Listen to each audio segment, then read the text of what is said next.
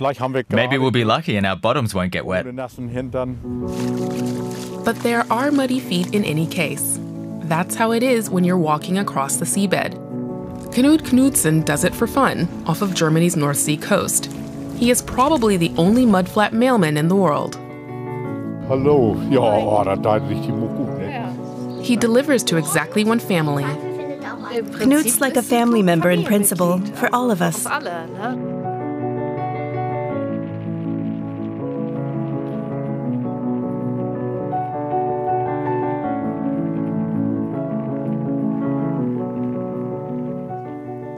Regular water level reports are critical. Last tide low water 431 today at 3:08 a.m.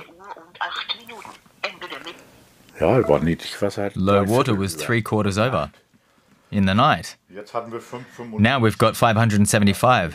That's still a whole lot. gerade hin. So bei 5 Yes, that's got to be about five meters. Then you can make it through the narrow channel when it's not too stormy and the waves are a bit higher. Aber But I'm optimistic now. da bin ich jetzt optimistisch.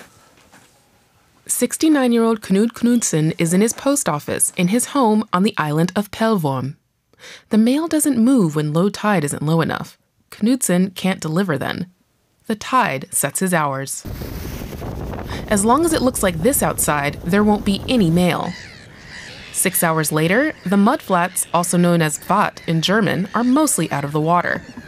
The seabed is passable, and the mudflat mailman begins his rounds. His load is heavy, and he's been officially commissioned by Germany's postal service, Deutsche Post. Ja, ich pack das immer noch in I always pack it in plastic in case it rains. The backpacks aren't totally waterproof. ganz dick, die Rucksäcke. Was ich I take what I can take. Sometimes I strap it on if it's a little bit bulkier. Drauf, wenn es so ein bisschen sperriger ist. Ja, ich Yes, and a refrigerator. He has to bring them on a ship. The weather app helps him decide what to wear. 16. Also heute haben wir Today, maybe we'll get lucky without getting wet. From the sky? Yes, from the sky. Whenever possible, Knud Knudsen goes topless. That's his style. Ja, ich setze Well, I'll take a jacket now, but normally when the weather is good, I just go like this. Seven kilometers away from home is the agreed meeting place on the embankment. Knud regularly takes vacationers along his route. People with local knowledge rarely come. The guests scan the horizon. They ask themselves, where are we going? Now, off to the tiny island of Süderoog.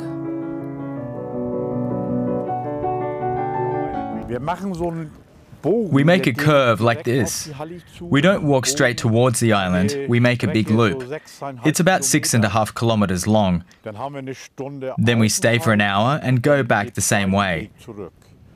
And we'd like to cover these six and a half kilometers in an hour and a half. Maybe we'll get lucky and won't end up with wet bottoms. You usually only sink ankle deep. Knud likes walking in the Watt alone. Let's put it this way he doesn't ask people to join him. Würden Sie denn Would you all like to go? oder- Nee, wenn If not, or if one of you turns around, that's okay. I get it. I'll tell them we're coming. sei, werde ich uns mal anmelden. Then a surprising order is sent from the embankment to the mudflats. Who'd like coffee? Eins, zwei, drei, vier, fünf. Gut. Hallo Holger, Hi, Holger, it's Knud. Du, wir sind hier sieben Erwachsene und zwei Kinder. Und hier so Kaffee hergestellt. Und ein Hund mit. Es noch Worte, aber die wollen alle mit. Dann sehen wir uns das noch her.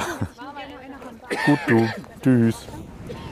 On Germany's northern coast, people speak the country's only regional language called Plattdeutsch. The group booked a hike across the mudflats, and now they're walking into the North Sea. Your first impression? Sehr schön. Beautiful. Kalt. Cold.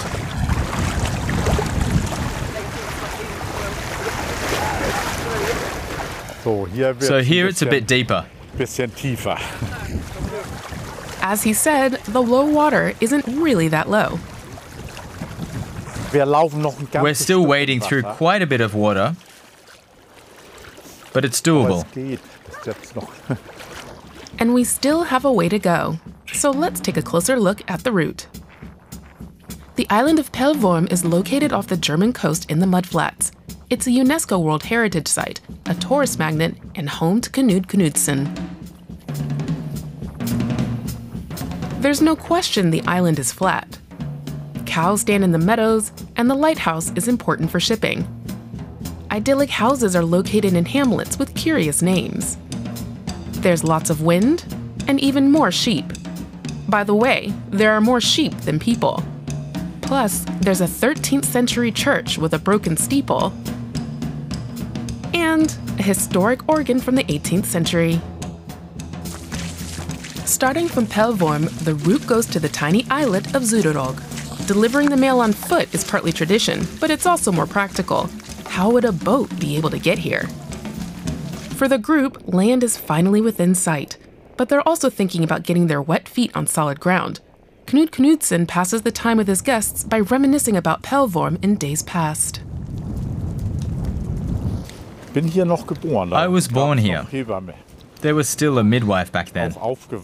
I grew up here too. I went to the mainland for a few years, but I always landed here again. Pellworm used to be much more beautiful. And the people, the ones who come now, they've changed. Back then, the guests who came would get a ball, go down to the beach, and would be satisfied with what was there.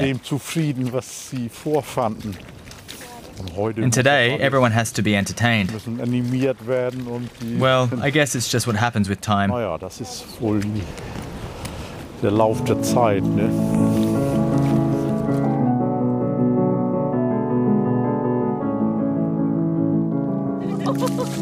There is no marked path, nothing but gray silt for miles. But Knud Knudsen knows every inch of this route. Do you want to put them back on? If not, you can leave them here. We're coming back this way.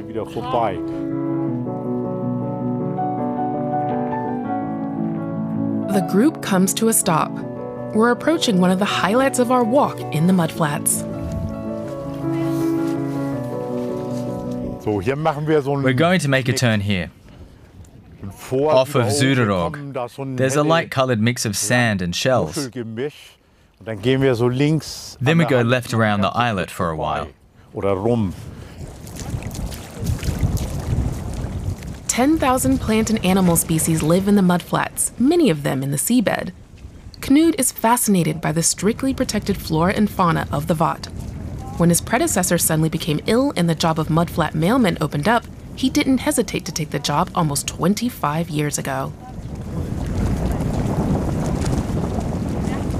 There aren't any cars here. There's no traffic noise.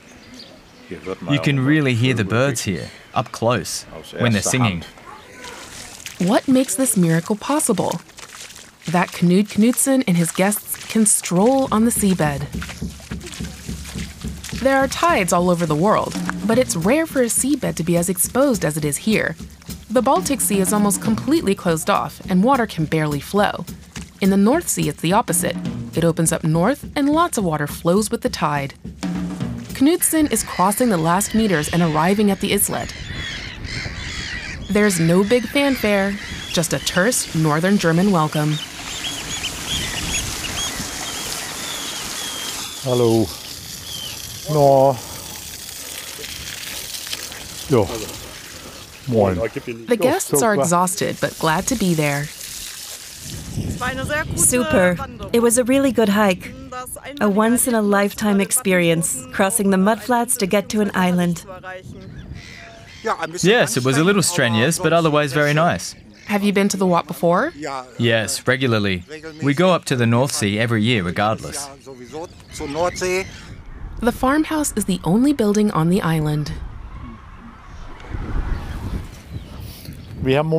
We've brought a bit of sun with us. Hello. That feels really good. Knud brings the mail into the house himself, then stops to rest for a bit. During that time, the guests get a short presentation about life on the islet. Here on the land, that's 60 hectares, and 40 hectares are pasture land with Coburg fox sheep on it. We have several herds that graze all of this.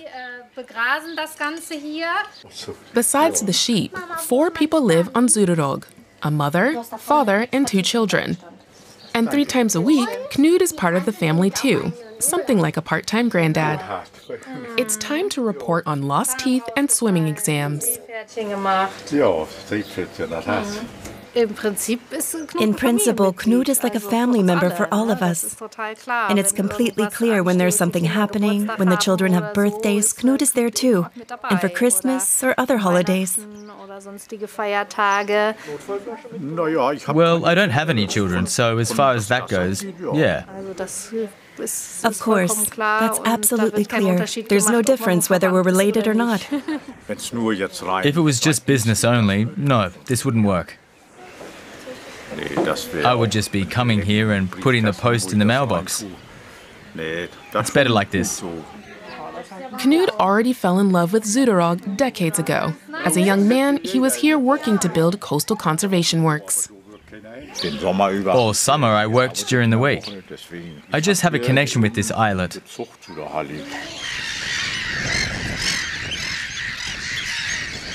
Now it's time to go back. A brisk southwest wind has kicked up and the clouds are thickening, and they have them march back across the mudflats ahead of them. Then it happens. They end up getting wet bottoms and rained on as well. How many kilometers have you done? Halfway around the globe. Certainly 25,000. And how many more will there be? It depends how long I stay fit. I